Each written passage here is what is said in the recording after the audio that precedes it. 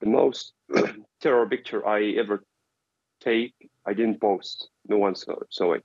I tried to post, but Instagram keeps uh, removing the picture, and it was terrifying for me to to post. I need to see it. it was for a, a, baby. They got him from the ambulance in front of me. He, brain, his brain was out. So uh, this the most terror picture I ever took. What is happening in Gaza, it's now happening in Khan Yunis.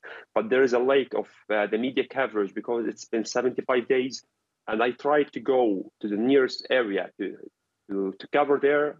They opened the fire on me and another journalist uh, I have with me. Some people trying to, to evacuate, like us, to, to, travel. So when this end, they will go back to Gaza. But uh, there's um, no building standing in Gaza right now. So the war will start after this war ends. There's another war is going to start after this end because people, if they stop and they went back to, to Gaza City and the north, they will find nothing. They will literally, literally find nothing.